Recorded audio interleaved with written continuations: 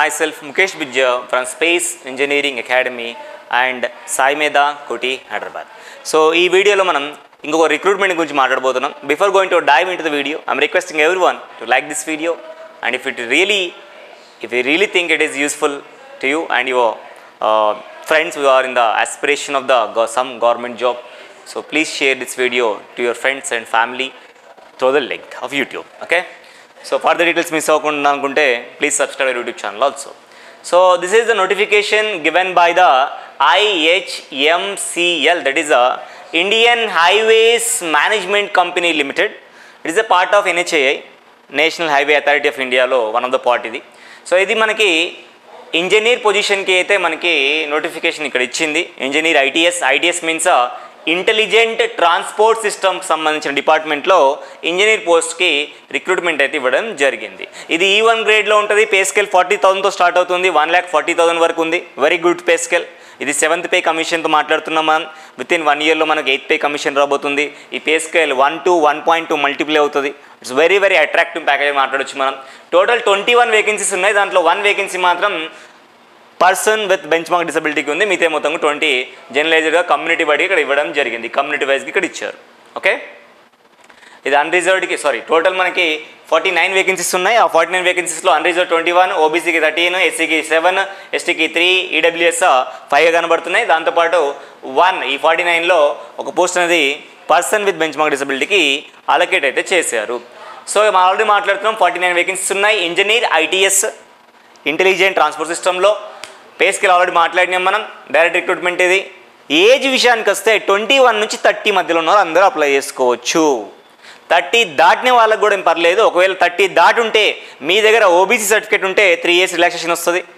SC ST community certificate ఉంటే five years relaxation వస్తుంది.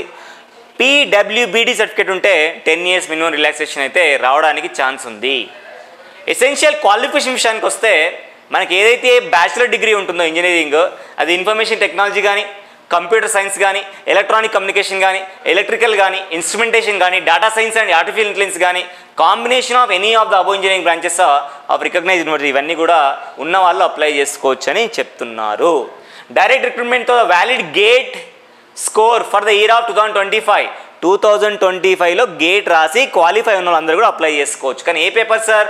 Paper విషయానికి వస్తే సిఎస్ పేపర్ రాసిన వాళ్ళు అప్లై చేసుకోవచ్చు ఈసీ పేపర్ రాసిన వాళ్ళు అప్లై చేసుకోవచ్చు డబుల్ఈ పేపర్ రాసిన వాళ్ళు అప్లై చేసుకోవచ్చు ఐఎన్ ఇన్స్ట్రుమెంటేషన్ పేపర్ రాసిన వాళ్ళు కూడా అప్లై చేసుకోవచ్చు. దాంతోపాటు last paper that is data science and artificial intelligence DA రాసిన వాళ్ళు కూడా ఈ రిక్రూట్మెంట్కి అయితే అప్లై చేసుకోవచ్చు. వెరీ అట్రాక్టివ్ ప్యాకేజ్ ఉంది. ఈజీగా మీరు అప్లై చేసుకోండి.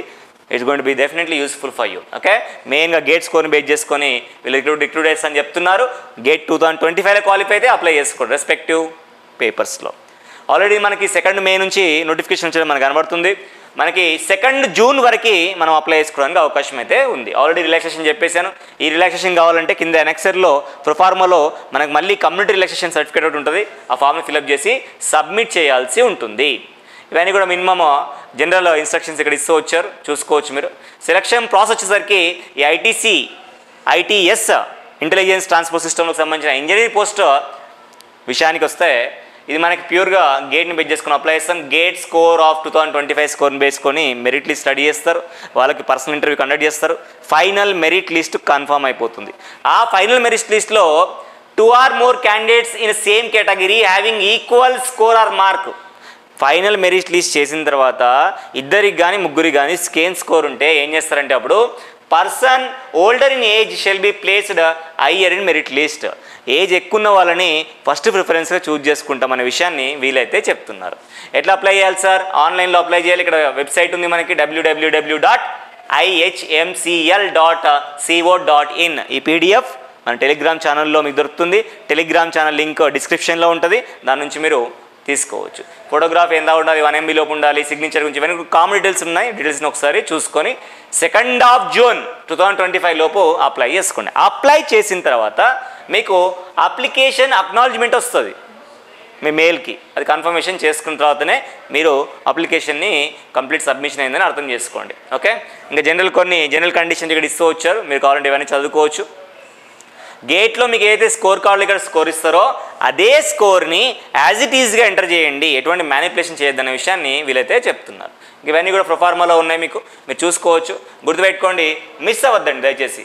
Two thousand twenty five GATE score card ఉన్న వాళ్ళు ఎవరైనా అప్లై చేసుకోవచ్చు. ఫ్రెషర్ టు ఎవరైనా. కాబట్టి మిస్ అవ్వకుండా రెస్పెక్ట్ పేపర్లో కనుక మీరు ఉంటే డెఫినెట్గా అప్లై చేసుకోవడానికి ట్రై చేయండి. ఏ పేపర్స్ ఉన్నాయి sir CS EC triple IN DA ఇవన్నీ కూడా ఉన్నాయి. ఇవందరూ కూడా అప్లై చేసుకోవచ్చు. Okay and please like this video and encourage us by subscribing our youtube channel. Thereby get regular updates for that. Then thank you so much for watching this video. I am going to meet in the next video. Until then bye. Take care